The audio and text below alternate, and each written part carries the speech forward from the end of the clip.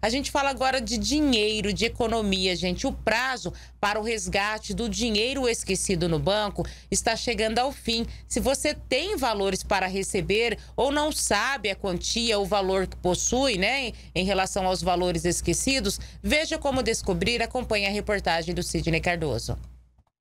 O Sistema de Valores a Receber, CRV, é um serviço do Banco Central que permite às pessoas consultarem se elas, suas empresas ou pessoas falecidas têm dinheiro esquecido em algum banco, consórcio ou outra instituição.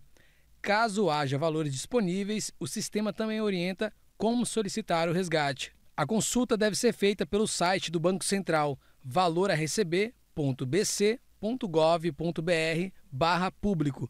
Não é necessário fazer login, basta informar o CPF e a data de nascimento ou o CNPJ e a data de abertura da empresa inclusive para empresas encerradas. Também é possível consultar valores de pessoa falecida, informando o CPF e a data de nascimento.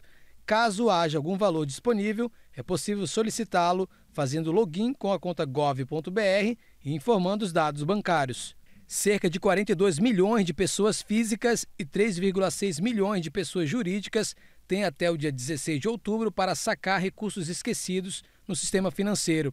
Após esse prazo, os valores passarão por outro procedimento.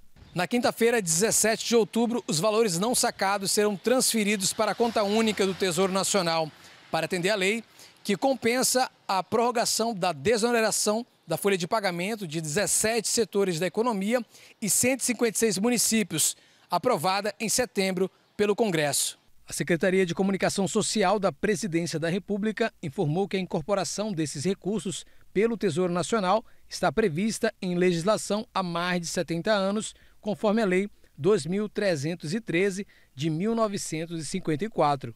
Segundo os dados mais recentes do Sistema de Valores a Receber do Banco Central, referentes a agosto, ainda restam 8,59 bilhões a serem sacados.